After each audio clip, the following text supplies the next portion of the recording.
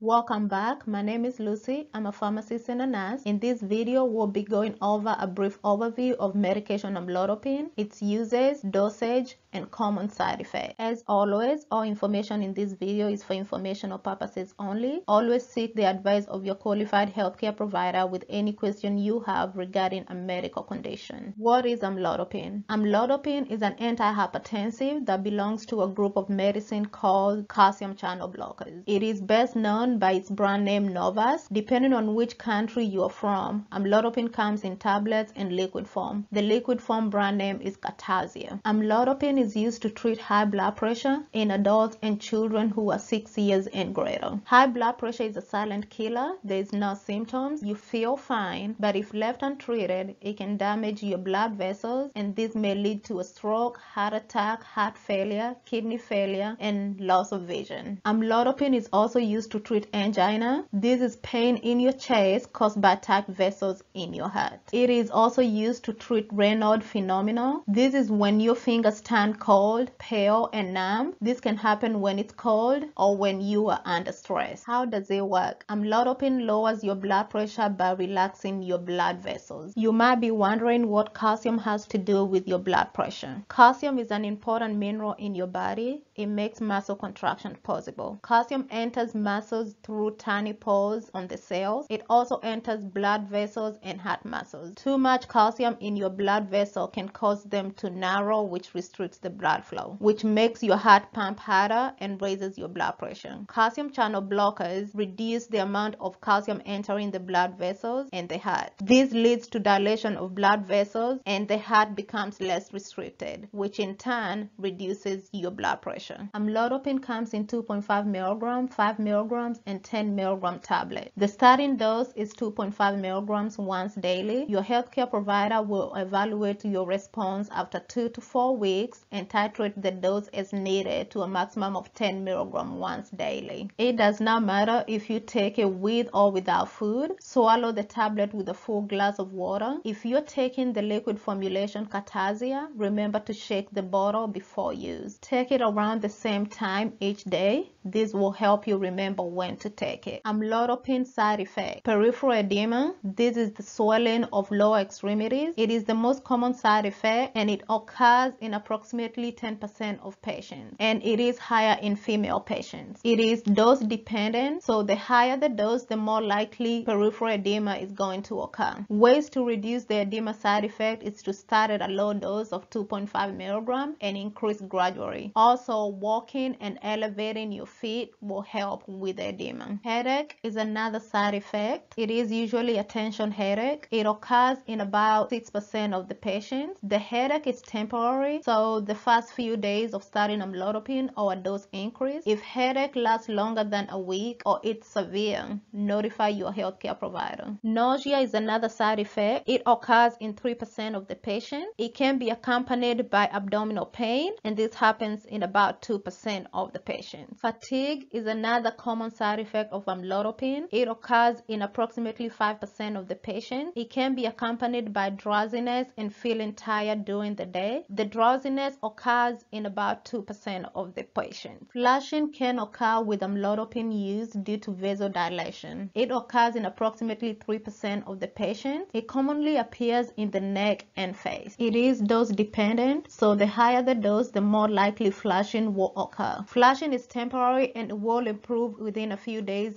of starting amlodipine or dose increase. If this happens, cut down on coffee, tea, alcohol, and keep your room cool. You can also sip on cold drinks or splash your face with cold water. Another side effect is heart palpitation. This occurs in less than 5% of the patients. This may feel like your heart is skipping a beat or racing. This is dose dependent, so the higher the dose, the more likely palpitation will occur. Skin rash and itching can also occur with amlodipine use. It occurs in approximately 1 1 to 2% of the patients. Another side effect is muscle weakness and cramping. This occurs in less than 2% of the patients. Sexual dysfunction is another side effect can occur with amlodipine use, specifically erectile dysfunction. This may occur in approximately 1% of male patients. Be aware that erectile dysfunction can also be associated with heart diseases and cardiac issues, so could go hand in hand with the condition that amlodipine is treating. Amlodipine can cause hypotension, but amlodipine has gradual onset of action, therefore acute hypotension upon initiation is unlikely. It can also cause dizziness in some patients and affect alertness. If you have dizziness or drowsiness, do not drive or operate machinery until the symptoms subside. Your healthcare provider can adjust your dose to help with hypotension and dizziness and also make sure you are staying hydrated because dehydration can make the dizziness worse. Amlodipine can also cause some rare severe side effects. These include erythema multiforme. This is a severe skin rash with red raised skin areas. This skin rash appears all over the body but are more noticeable on the fingers and toes. If you experience this side effect, notify your healthcare provider immediately. Amlodipine can cause heart failure. This is because it decreases the force of contraction, which leads to decreased cardiac output. It can cause acute kidney disease. The risk is increased with concurrent use with strong CYP3A4 inhibitors like antibiotic clarithromycin, antifungal ketoconazole, antiviral medication like ritonavir and darunavir. It can also cause drug-induced liver disease, pulmonary edema. So if you experience shortness of breath, notify your healthcare provider. It can also cause cause rhabdomyolysis. The risk of rhabdomyolysis is increased with concurrent use with statin medications like simvastatin and atorvastatin. Before you start taking amlodipine, notify your healthcare provider if you have any allergic reaction or hypersensitivity to amlodipine or any component of the formulation. If the plan is for you to take the liquid formulation, Katerzia, it contains polysorbitate 80 and sodium benzoate. Also, notify your healthcare healthcare provider if you're pregnant or breastfeeding, if you have heart failure, since amlodipine decreases the force of contraction which lead to decreased cardiac output. Patient with reduced ejection fraction should not use amlodipine. Also, notify your healthcare provider if you have severe liver disease. This can lead to accumulation of amlodipine and hence hypotension. Thank you for watching